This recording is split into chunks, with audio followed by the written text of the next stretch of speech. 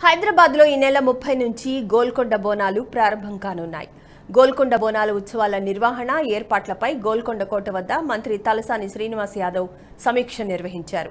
తెలంగాణ సంస్కృతికి ప్రతీకగా నిలిచే బోనాలకు తెలంగాణ రాష్ట్రం ఏర్పడిన తర్వాత రాష్ట్ర పండుగగా గుర్తింపు వచ్చిందన్నారు.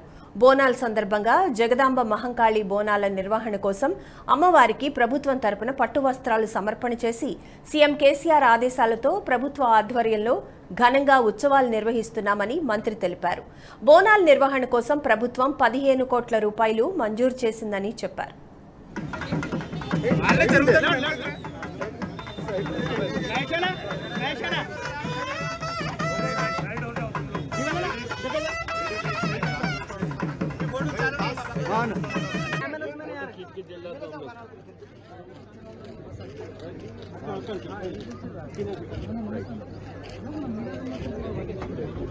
అన్ని ప్రాంతాలలో కూడా బోనాల జాతర జరుపుతాం.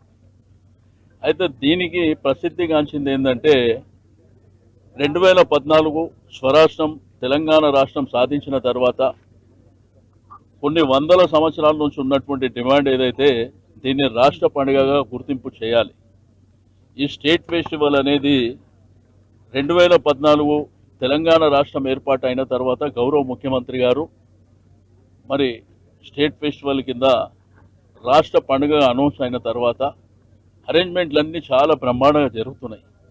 కోట్లాది రూపాయలతో అరేంజ్మెంట్ మీరు చూసారు ఇప్పుడు డిపార్ట్మెంటల్ వారీగా ఏం అరేంజ్మెంట్లు జరుగుతున్నాయని. నీకు త్రీ మ్యాప్ లైటింగ్ కానివ్వండి